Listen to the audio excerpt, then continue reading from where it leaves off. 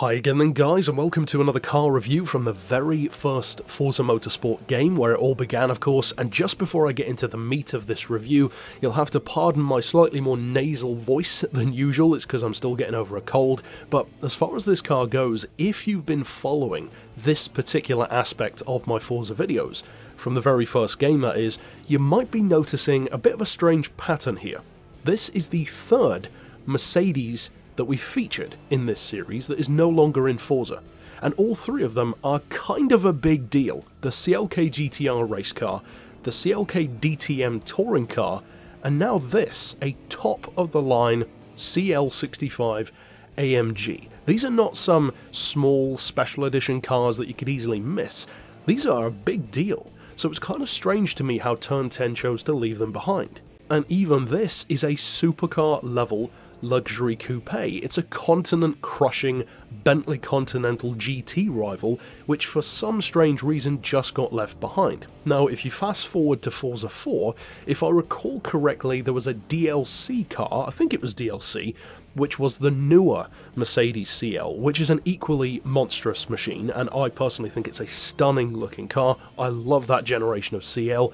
This one, though, does not get the love that it deserves. And of the three Mercs that they chose to leave behind, you could easily and comfortably make an argument that this is the most obvious choice to leave behind. It's a little dated, of course, it's not the most ostentatious looking thing around, it's actually a surprisingly understated car, and for those who don't know why you should consider the CL to be a big deal, this is essentially a two-door version of the top of the line Mercedes, the S-Class. It has been the ultimate Mercedes for quite some time when it comes to luxury, and although SUVs tend to dominate the market these days, for decades, luxury limos, or sedans, really was where it was at for executives and officials, and the S-Class represented the ultimate in that. Now the CL is a rather niched idea, and it's the idea of taking that S-Class and everything that makes it great, but putting it into a two-door car.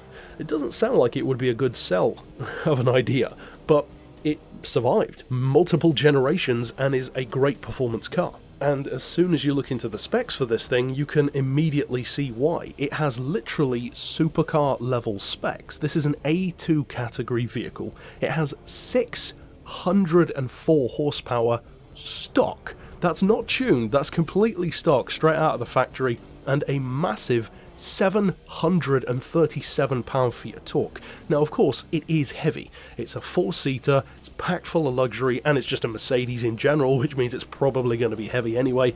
It weighs 2,155 kilos. That's technically 2.2 metric tons. So it's still lighter than a Bentley Continental GT, but it is heavier than a lot of cars on the road, including some of Mercedes' own SL models, which can also be surprisingly heavy for a, two-door convertible. Now as far as performance goes, this is always an overwhelmingly fast car in a straight line. And in the newer Forza game, Forza 4 for instance, that newer model is also fantastic in a straight line. It very much feels like a German muscle car, in effect, that lazy low-down torque surprisingly low revving V12 engine, it's a monster of a car, and even the standard engine has incredible tuning capabilities.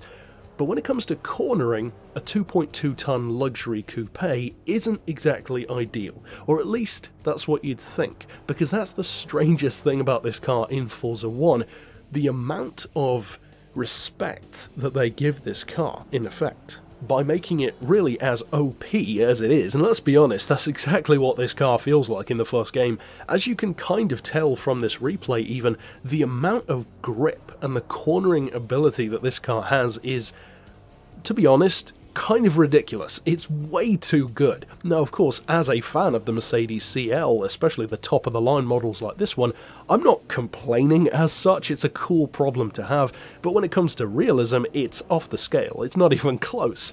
So, in terms of leaving this car behind, it kind of makes sense and doesn't at the same time, because the Mercedes CL, especially of this generation, has always been one of those cars that has kind of slipped under the market radar a little bit, both in games and ironically in real life as well. You can buy Mercedes CLs of this shape for dirt cheap money here in the UK. I'm talking literally like 2 grand, 4 grand, ridiculously cheap.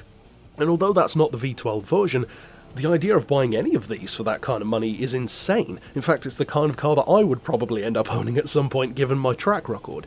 But that doesn't change the fact of how good it is. It is, in effect, the highest class sleeper imaginable, which is a niche if there ever there was one. As far as the price goes as well, it's shockingly cheap, and that makes no sense either because usually one of the consistent things between Gran Turismo and Forza is that there are certain manufacturers that always have a high price. Aston Martin, Jaguar, and Mercedes tend to be three of the top ones. You will rarely find any of their 90s or 2000s era cars for less than six figures. Yet this thing is 62 grand. That's like Corvette money. And in this game, that's not even an exaggeration. This is literally 4 grand cheaper than the Corvette C6. That's crazy for a car that has, as I said, over 600 horsepower.